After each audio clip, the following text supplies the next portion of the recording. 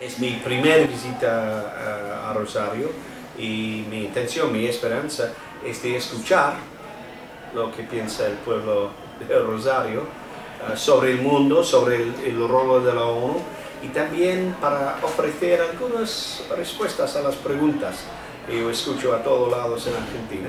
Y uno es que, ¿qué hace la ONU? ¿Para qué sirve la ONU? Y para mí es una pregunta muy importante y muy, ¿qué es la palabra? Ayudosa, porque es necesario que la ONU explica lo que hacemos, no solamente aquí en Argentina, pero en todo el mundo. Y a, visitar la, la, universidad, porque yo he querido establecer una relación muy fuerte con la universidad, que siempre ha tenido un interés eh, en la ONU y también que la relación entre la población de estudiantes en todo el mundo y la ONU es muy importante porque es la próxima generación. Y la ONU ahora tiene 60 y pico años.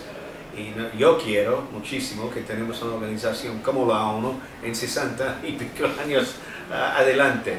Y si, si queremos esto hay que trabajar para, con la próxima generación.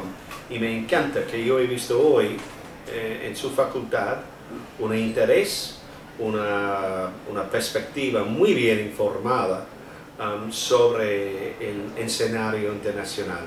Yo he escuchado preguntas muy buenas sobre el futuro de la ONU, cómo funciona el Consejo de Seguridad, qué vamos a hacer sobre el mantenimiento de paz o cambio de clima y por eso es, es muy importante para mi organización tener una buena relación, que no es solamente que yo vengo a hablar, pero también que yo vengo a escuchar.